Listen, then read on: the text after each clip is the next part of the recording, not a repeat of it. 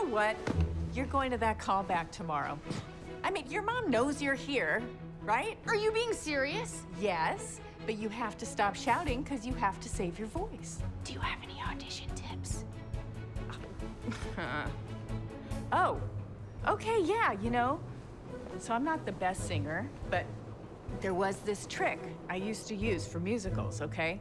You hold the sheet music, right? Like, you know, you haven't really fully memorized the song, and then halfway through, just casually let it drop to the floor. Like, wait, not only do I know this song, I'm gonna blow you away in the final verse.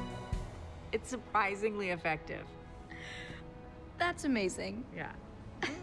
and, uh, find your light. Everybody forgets that. But how are they going to remember you if they can't see you? Yeah. Yeah. Find your light.